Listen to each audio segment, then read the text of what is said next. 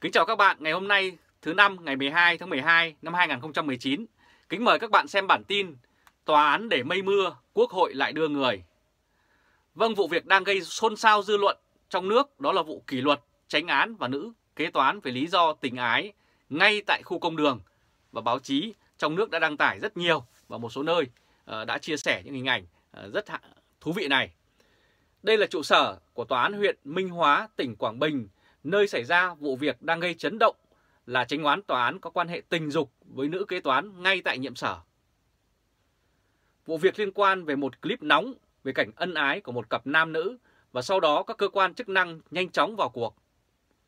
Cặp đôi trong clip được xác định là tránh án của tòa án huyện Minh Hóa và nữ kế toán của tòa án này.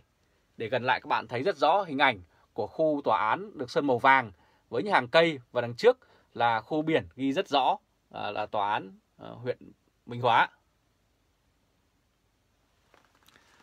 Và câu chuyện lộ video quay được cảnh nóng bỏng của đôi trai gái với một người là đương kim tránh án, còn cô gái kia là nữ kế toán xinh đẹp.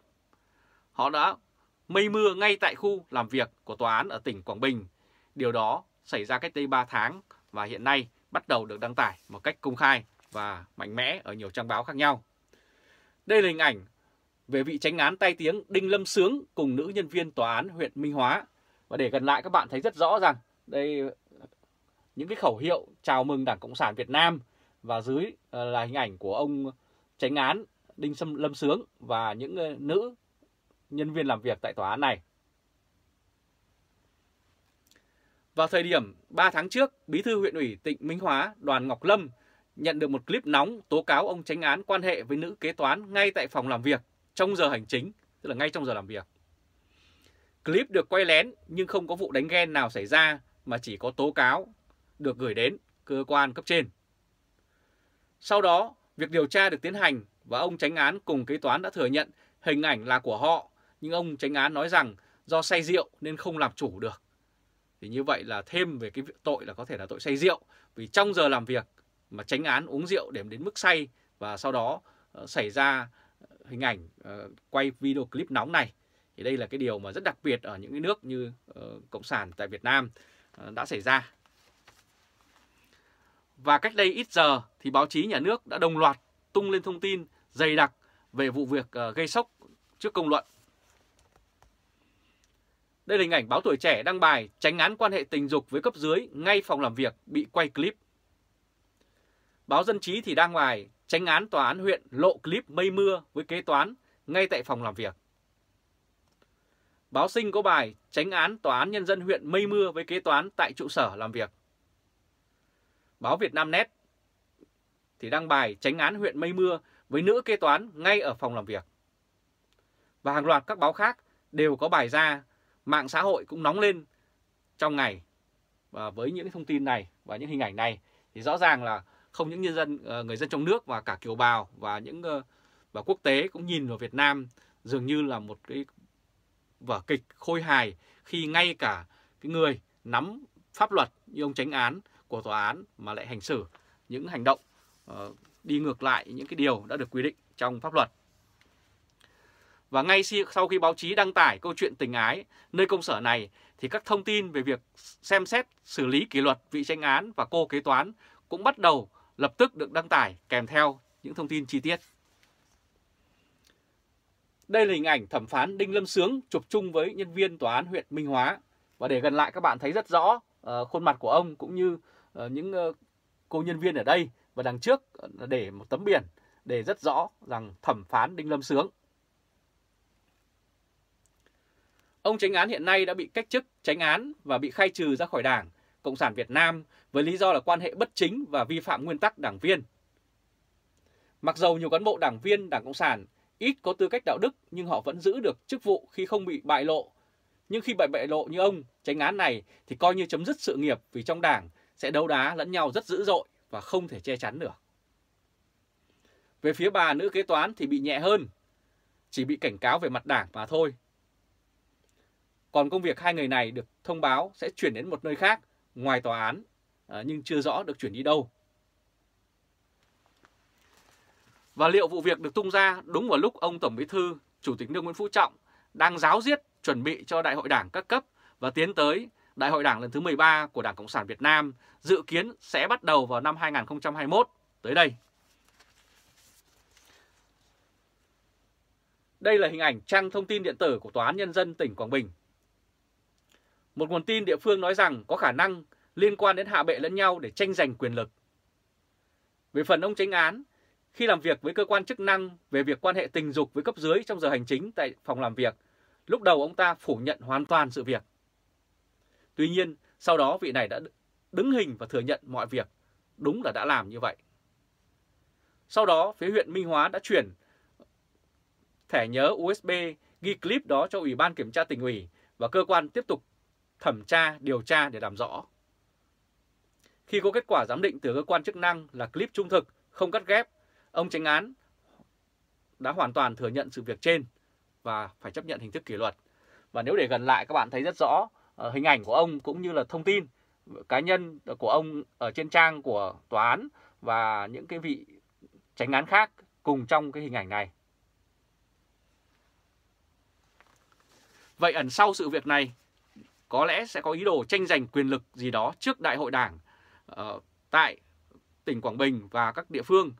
hay không thì câu hỏi đang được đặt ra và trong thời gian tới báo chí và truyền thông chắc chắn sẽ còn theo dõi và có những uh, bài viết tiếp theo. Ở Việt Nam thường hay xảy ra nhiều vụ bê bối như vậy trong các cơ quan nhà nước, nhất là trước mỗi kỳ đại hội đảng Đảng Cộng sản Việt Nam. Họ dựa cớ để hạ bệ, triệt hạ lẫn nhau như trường hợp đối với Chủ tịch uh, Quốc hội Nguyễn Thị Kim Ngân khi mà sự việc đã được xảy ra cách đây hàng năm nhưng bây giờ đột nhiên được khơi lại ngay trước kỳ đại hội đảng. Đó là vụ uh, những ờ, người đã đi nhờ chuyên cơ của bà và sau đó trốn ở lại Hàn Quốc. Đây là hình ảnh của Chủ tịch Quốc hội Nguyễn Thị Kim Ngân đã hội kiến với Tổng thống Hàn Quốc Moon, Moon Jae-in. Đi nhờ bà Kim Ngân rồi trốn ở Hàn Quốc, Việt Nam đang điều tra. Các quan chức cấp cao của Việt Nam thừa nhận họ đã biết từ trước về việc 9 người bỏ trốn lại Hàn Quốc khi đi cùng Chủ tịch Quốc hội Nguyễn Thị Kim Ngân sang công tác và thăm chính thức nước này. Vụ bỏ trốn hy hữu đã xảy ra khi bà Kim Ngân dẫn đoàn thăm Hàn Quốc từ tháng ngày 4 đến mùng 7 tháng 12 năm 2018. Nhưng chỉ mới được truyền thông Hàn Quốc công bố vào ngày 23 tháng 9 vừa qua. Ngày 25 tháng 9, phản ứng về tin báo của Hàn Quốc, Bộ trưởng Bộ Kế hoạch Đầu tư Việt Nam Nguyễn Chí Dũng xác nhận vụ việc là có thật. Theo trang Vietnamnet, ông Chí Dũng cho biết bộ của ông khi đó được giao tổ chức các đoàn doanh nghiệp tháp tùng lãnh đạo trong các chuyến thăm và làm việc tại các nước cũng như tổ chức các diễn đàn xúc tiến thương mại ở nước ngoài. Và đây là hình ảnh các bạn có thể rất rõ là bà Chủ tịch Quốc hội Nguyễn Thị Kim Ngân đã hội kiến cùng Tổng thống Hàn Quốc. Và ngay sau cái hội kiến này thì một số người Việt Nam đã trốn ở lại. Và bên cạnh đó có những sự vụ việc khác đã xảy ra gần đây. Cách đây ít hôm, ngay cả Ủy viên Bộ Chính trị, Bí thư Thành ủy thành phố Hà Nội Hoàng Trung Hải cũng bị đe dọa sẽ sờ gáy vì những thông tin uh, vừa gây thất thoát hàng nghìn tỷ đồng trong vụ nhà máy gang thép Thái Nguyên mở rộng đã được tung ra và Ủy ban Kiểm tra Trung ương Đảng đã bắt đầu vào cuộc. Đảng nhắm kỷ luật Hoàng Trung Hải vì thép Thái Nguyên thiệt hại lớn. Ủy ban Kiểm tra Trung ương của Đảng Cộng sản Việt Nam thông báo ông Hoàng Trung Hải có vi phạm khuyết điểm đến mức xem xét kỷ luật vào thời điểm ông nắm chức Phó Thủ tướng và đưa ra ý kiến chỉ đạo về công ty gang thép Thái Nguyên. Trang thông tin của chính phủ cho hay vào hôm 9 tháng 12 vừa qua. Ông Hoàng Trung Hải là Phó Thủ tướng từ tháng 8 năm 2007 đến tháng 4 năm 2016. Sau đó, ông giữ chức Bí thư Thành ủy Hà Nội và từ đó đến nay, ông cũng có chân trong Bộ Chính trị đầy quyền lực kể từ năm 2011 cho đến tận bây giờ.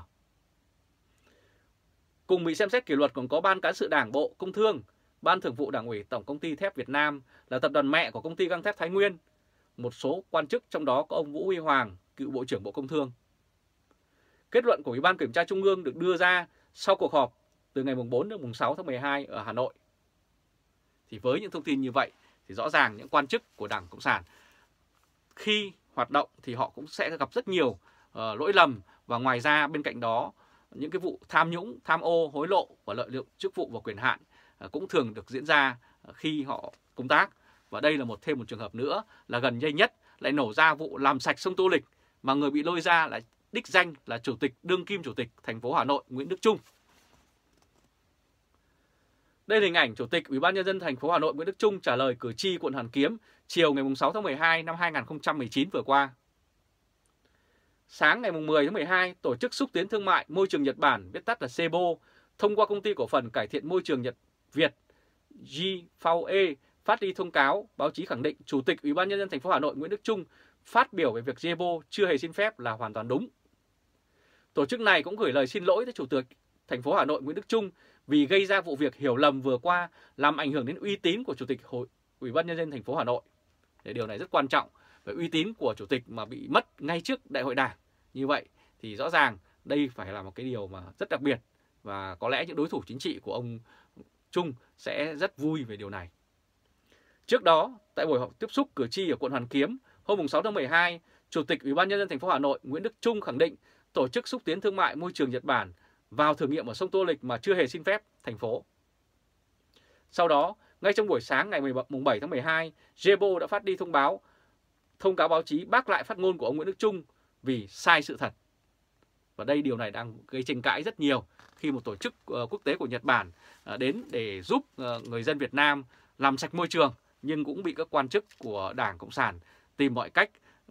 ngăn chặn và có lẽ phía sau đó còn ẩn giấu nhiều cái ẩn số là những công ty sân sau.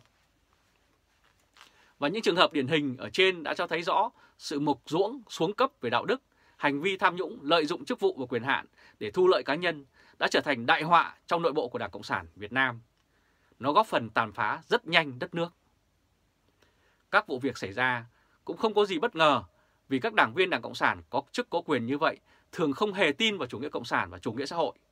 mà chủ yếu là họ chạy chức chạy quyền để ngồi vào ghế lãnh đạo, đè đầu cưỡi cổ trên 90 triệu người dân Việt Nam để tiếp tục vơ vét cho tới khi Đảng Cộng sản hoàn toàn tăng dã trên quê hương. Cảm ơn các bạn đã chú ý theo dõi chương trình truyền hình trực tiếp của Lê Trung Khoa Thời báo.de ngày hôm nay thứ năm ngày 12 tháng 12 năm 2019. Các bạn hãy để lại bình luận và chia sẻ video này cho nhiều người biết, cũng như bấm nút theo dõi YouTube và Facebook Thời báo.de để luôn được cập nhật những thông tin mới nhất, nhanh nhất và trung thực nhất. Cảm ơn các bạn và hẹn gặp lại các bạn vào bản tin lần tới. Trung Khoa từ Berlin, Cộng hòa Liên bang Đức.